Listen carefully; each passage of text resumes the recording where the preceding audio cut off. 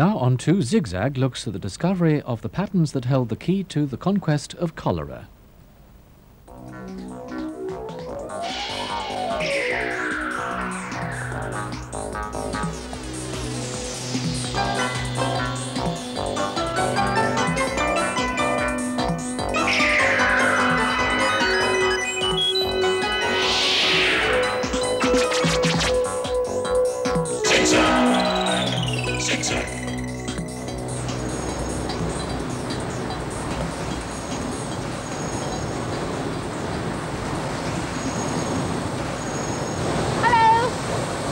Hello.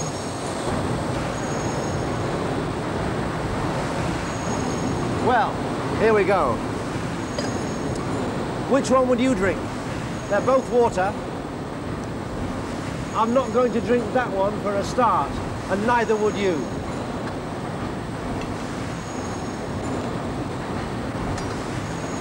Cheers. Cheers.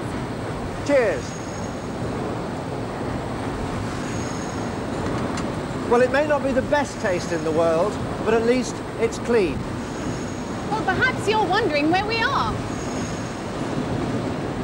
We're in a very old, giant water pumping station that's driven by steam. These great pumps draw water up out of a reservoir, send it all the way along the water pipes, under the roads, and into London's homes. In fact, these two engines are among the very last in the country that are still driven by steam, and between them they pump up millions of gallons of water every day. But when the water first comes out of the river, it looks like this, all murky and horrible. But when it's been cleaned here at the pumping station, it looks like this, clear and clean, and of course it's safe to drink, but then you know all about that, don't you? Well, this is a detective story, and it's all about water. Do you know, Max, I think we ought to go somewhere a bit quieter, don't you? You're right. But listen, on the way, let's have a look at some of this machinery, shall we? Yeah, good idea. Okay. That's better. Much Certainly better. is.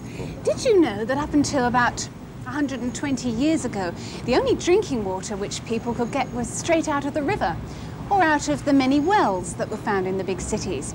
Either that or they had to buy it from someone in the street. The water carriers sold water to anyone who had the money to pay for it. Only the rich people had their own water taps, and the water they got wasn't very clean. Most houses had no water at all laid on for washing or drinking, so getting water could mean a long queue at the pump.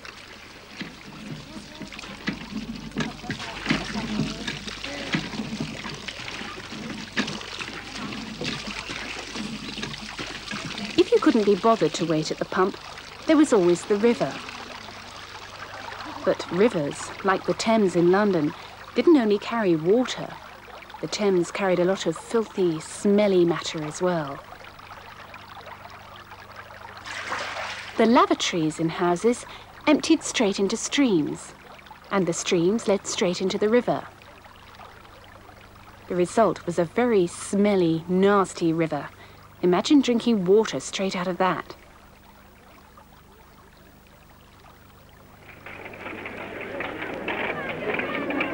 The people in the poor areas of town suffered badly. Too many people living in each room and never enough food to eat. Worst of all were the sudden outbreaks of sickness that killed many, parents and children alike. The most feared and the most violent sickness was cholera. The doctors seemed unable to cure it. Those who caught it and managed to get better were very lucky. Where did cholera come from? Nobody knew for sure, but most people thought that it lurked in places like this. The mountains of stinking rubbish on the edge of town, the streets full of refuse where people walked and children played. People believed that something in the air caused disease. It was something that you smelt and something that you breathed. Now, I've got an old book here about the story of cholera. And it shows pictures of people trying to fight off the disease by burning barrels of tar in the street to make lots of smoke. And here's a picture of them lighting a bonfire to drive away the disease.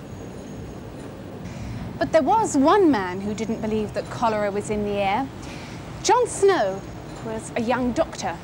He'd seen people fall ill with cholera and he'd noticed that the first thing they suffered from was terrible stomach pains and diarrhea. Could it be something that they ate or, or drank? John Snow came to work in London and he was horrified by the filthy living conditions that he found in the big city. In 1854, cholera came back to London, this time more serious than ever. There was an epidemic. Hundreds of people got the disease at once. It broke out in Soho, a district in the centre of London. 500 people died in the first week and others began to run away from their homes, hoping to escape. There was panic. John Snow paid a visit to each house in the area where people had caught cholera, and at each house he asked the same questions. What have you been eating? Where does the water come from? And every evening when he got home, he marked on the map the position of each house where he'd found the disease. And after a while, the marks on the map began to take on an interesting pattern. This is a copy of John Snow's map of Soho. These are the streets. And these are some of the houses where people caught cholera. I'll mark a few more. Now these black lines here represent people who died, so you can see a lot of people died here. Apparently that was a big workshop. And a lot died over here too. And in this area. Now, can you notice anything about the way that these houses are spread out? Just look at the markers. Well, they're all collected together in a bunch. And there's another thing. Look here, right in the middle of the bunch. What's this? Got it? Right again, a water pump. A place where people get water. Most of the deaths from cholera took place nearest to Broad Street Pump. Well, it suddenly seemed obvious to John Snow. There had to be a connection between that pump and cholera. After all, there were no deaths around the other pumps. Just look. None up here, or here, or here, or here. Well, as he went on, the pattern seemed to get stronger and stronger. More deaths, and always Broad Street Pump right in the middle. Well, then there came a snag. News came of an event which didn't fit the pattern. An old lady and her niece had died of cholera somewhere way up here, right off the map. Well, how could that be explained? Well, John was sure there was an answer, so he went to investigate. Again, he asked the same questions. What had they eaten? Where did their water come from? And lo and behold, the old lady had water delivered to her house every day from Broad Street. Apparently she particularly liked the taste of it. Her niece had drunk the water as well, and they were the only people who had died of cholera in that area. Well, now he was absolutely convinced. Taking his map with him, John Snow went along to a meeting at the local parish council to tell them what he discovered. At first, they didn't want to believe him. How could water possibly carry disease? This had never been heard of. But in the end, the parish council listened to his argument and agreed to remove the handle of the pump so that people had to get their water somewhere else. So, what happened? The cholera epidemic gradually stopped. And so, for the time being, that was the end of that.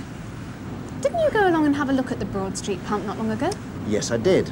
So what did it look like 120 years later? Well, it was hard to imagine all the terrible things that must have happened there.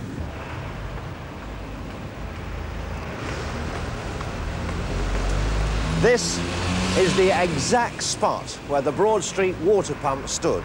But this isn't the actual pump.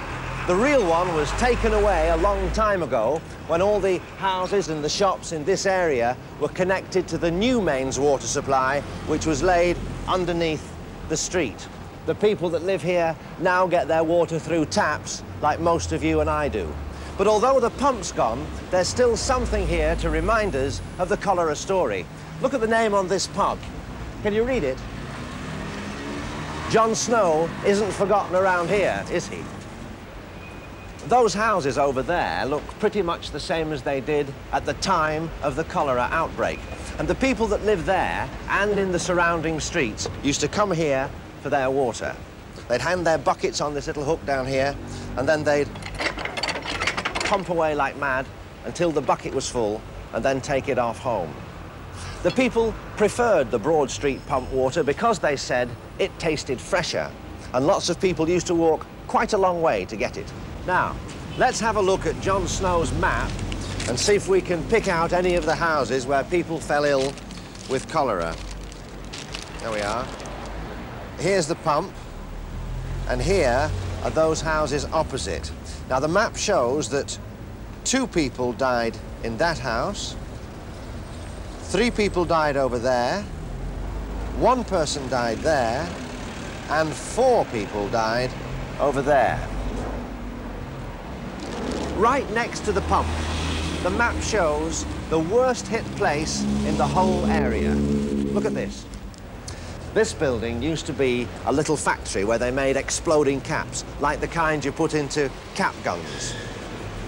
And very thirsty work it was too, because it was very warm and very dusty inside the factory. And they kept two big barrels filled with water from the Broad Street pump for the workmen to drink. 18 people died of cholera there. The attack lasted 42 days, and in all, 616 people died. Six weeks of terrible suffering, but now it was over.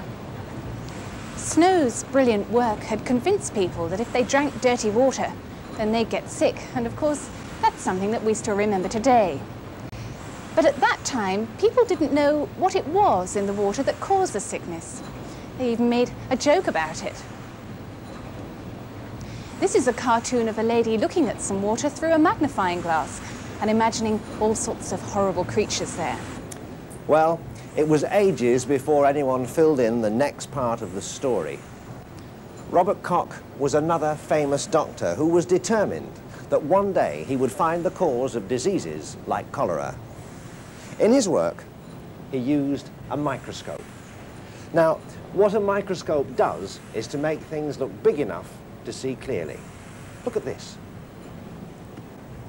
Do you know what it is? This is what a grain of sand would look like under a microscope. Well, Robert Koch didn't waste his time with grains of sand. He started by looking at water from areas where he knew there was cholera and what did he see? These. Tiny, tiny living things of all shapes, but so small they could only be seen through the microscope. He knew they were living because as he watched, they grew more and more in number. How could he be sure that these were the cholera germs? Again, like John Snow, he had to look for a pattern.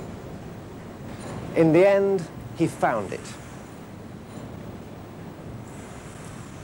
In every drop of water that caused cholera, there were these tiny, tiny tadpole-like germs. They just had to be the cause of cholera. Well, now that we know that it's these tiny living germs that cause disease, we go to a lot of trouble to keep them away from us, and especially to keep them out of our drinking water. And that's what a water pumping station is for. So um, should we go and see how this one works? Yeah, let's go have a look around. Water from the river is kept in this big reservoir.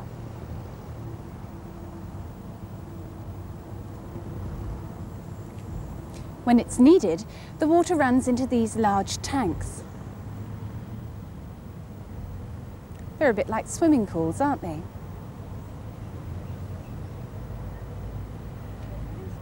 Here's one that's empty. At the bottom there's a bed of sand. The water just soaks slowly through the sand and leaves most of the dirt on top. After a while, the dirty sand is scraped away and replaced with new sand.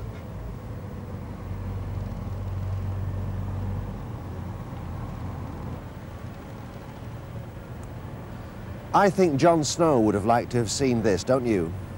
His discovery of a simple pattern that linked dirt with disease has saved an awful lot of people's lives. But of course, it's not only famous doctors who can work things out. You can do it as well. You'll need a pencil and paper for this because we've got a quiz for you. There's not much to write, just one word for each answer will do until after the programme. Right, are you ready? Now have a look at this picture and see if you can tell what caused the pattern of dark splodges on the ground. Look closely. What caused the pattern of dark splodges on the ground? Any ideas?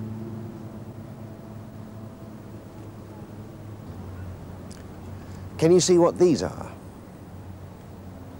They're steps.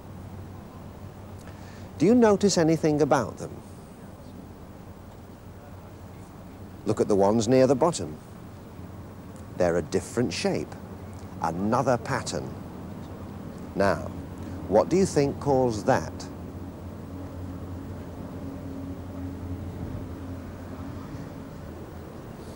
Have a go at this one. Can you think of any reason why the trees are growing in that peculiar shape?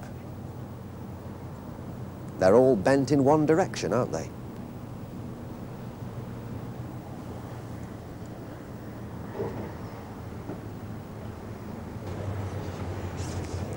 Look at these balloons. They're filled with lifting gas. So when I let go of them, off they go.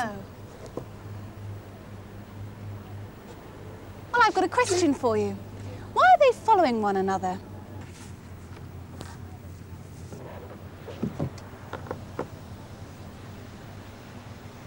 I wonder how far they'll get. We could find out if we wanted to. How? Here's a clue. Think about it.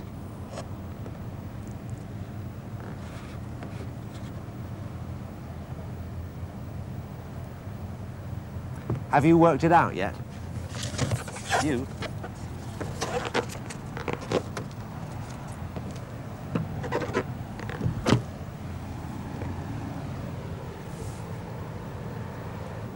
Pam, let's let some more go. How about letting all these off? All the lot? Yes? All right. Ready? One, two, three, go!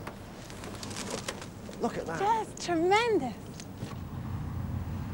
They look like floating Smarties. Much more like it.